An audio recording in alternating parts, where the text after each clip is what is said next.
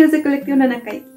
Yo soy Monse y hoy les traigo un video muy, muy interesante y muy informativo. Así que quédense para saber de qué se trata. Bienvenidos a una producción más de Colectivo Nanakayotl.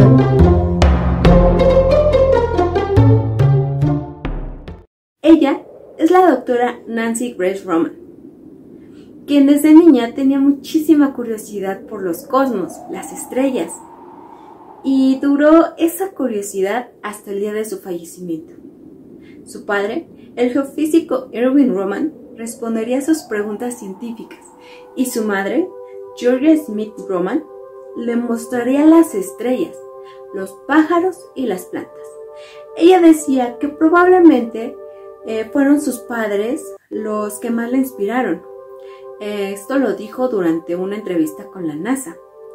La sociedad de la época dictaba que las mujeres no debían ser científicas. El espacio la cautivó desde pequeña y aunque no fue fácil seguir su pasión, jamás se rindió y logró su licenciatura en astronomía en Swarthmore College y posteriormente su doctorado en la Universidad de Chicago donde su asesor de tesis la ignoró durante seis meses seguidos. Esto lo dijo en algún momento Natalie. Finalmente comenzó a trabajar en el Observatorio Jerkins de la universidad y posteriormente se unió a la NASA. Fue precisamente ahí, en la Agencia Espacial Estadounidense, cuando al fin sintió que los hombres la trataban como igual. Su historia con el Hubble empieza porque ella fue quien dirigió el impulso para lanzar el telescopio espacial Hubble. De ahí su apodo, la madre de Hubble. Roman se unió a la oficina central de la NASA y poco después a la fundación de la agencia en 1958 y fue la primera jefa de astronomía en la oficina de ciencia espacial de la NASA y también la primera mujer en ocupar un puesto ejecutivo en dicha agencia espacial. El astrónomo Lyman Spitzer ya había propuesto anteriormente una idea de un telescopio basado en el espacio en 1946, pero el presupuesto y la tecnología necesarias para llevar el proyecto no estaban disponibles. Entonces se tenían que esperar algunos años más hasta que Roman comenzara a dar algunos pasos en este sentido. Y fue hasta 1960, tres décadas antes de que se impulsara, que ella empezó con esto. Ella supervisó directamente la planificación y el desarrollo temprano de lo que se convirtió en el telescopio espacial Hubble.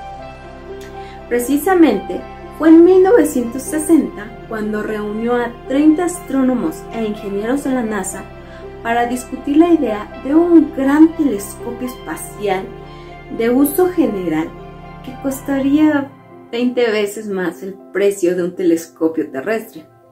Pero el proyecto ya estaba en marcha y a lo largo de la década de los 80 ayudó a planificar, desarrollar el telescopio aprendiendo qué necesitaba la comunidad científica y qué tipo de instrumentos sería más útil para la astronomía.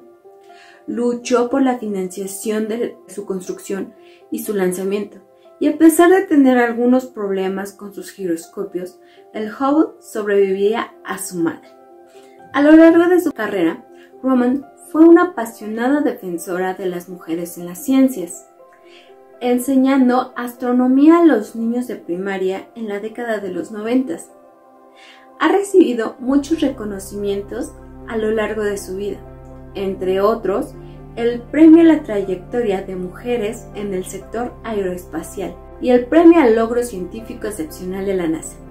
Fue una pionera del espacio y la NASA ha rebautizado su telescopio espacial de próxima generación en construcción es el telescopio de sondeo infrarrojo de campo ancho, WFIRST por sus siglas en inglés, y lo llaman en honor a Nancy Grace Roman, la primera jefa de astronomía de la NASA.